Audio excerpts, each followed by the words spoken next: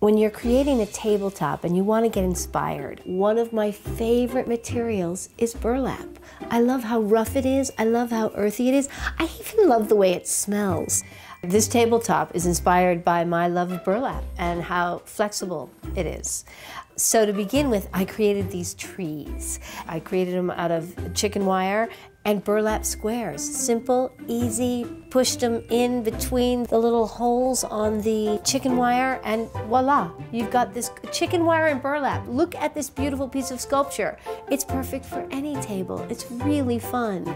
And then for the place settings, I just took a collection of kitchen towels, red and white striped, because kitchen towels like burlap, they work hard. They're the workhorses of fabric.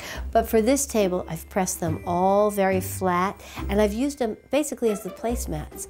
And then with a little piece of ribbon that is kind of burlap-esque with little red dots on it, I'm just simply wrapping up my plate just a just a little hint of this is a little gift for you. And then for the candles, which I'm kind of using as not only candlelight to help my table twinkle, but also as centerpieces. I've just taken some big old glass vases.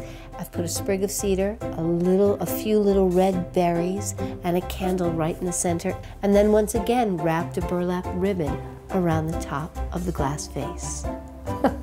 I love burlap. Every holiday, it comes back, and I love it each year. Remember, life is better homemade.